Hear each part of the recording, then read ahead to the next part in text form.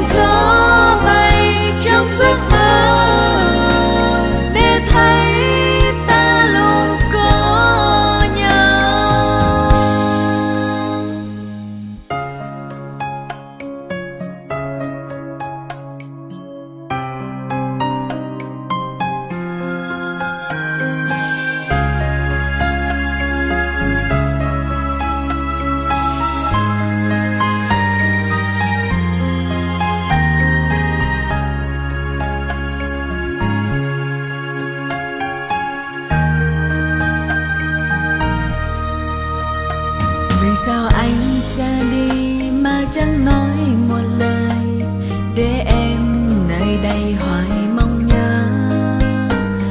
Bức thư trong tay còn đây mà người đã xa xôi, biết chắc ai khi không tìm ra lối đi.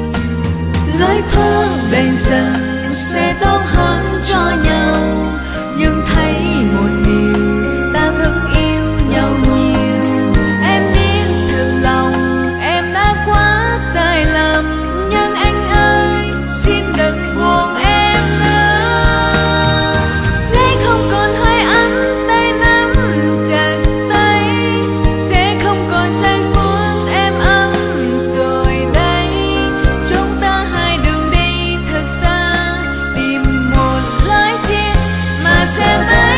帽子